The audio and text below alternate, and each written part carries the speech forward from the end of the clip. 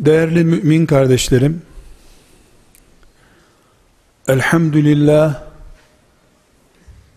müminiz, iman ettik.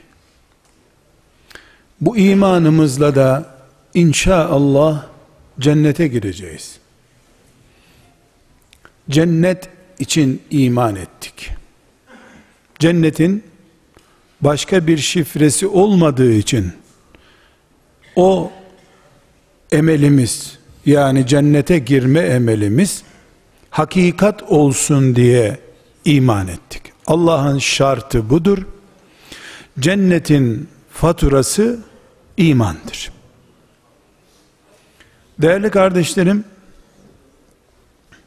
Rabbimiz cennete girmenin şartı iman etmenizdir. Dedikten sonra şöyle bir form doldurun. Nereye gitmek istiyorsunuz? Tercihinizi yapın. O tercihe göre de sizi yerleştirelim der gibi. Bizim tercihimiz cennetten yana olduğu için cennete konacak kullarından olmadık. Öyle değil. Önümüze bir form kondu ya da babalarımızın önüne konmuştu sülalece nereye gitmek istiyorsunuz diye. Neticede de bizim babalarımız cennet tarafını seçtiği için cenneti seçenlere de mümin dendiği için doğal olarak hepimiz mümin olduk diyemeyiz.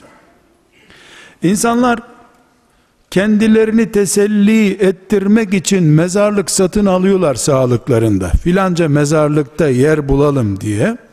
Ama cennet öyle aile mezarlığı kurulur gibi aile cenneti kurulan bir yer değil.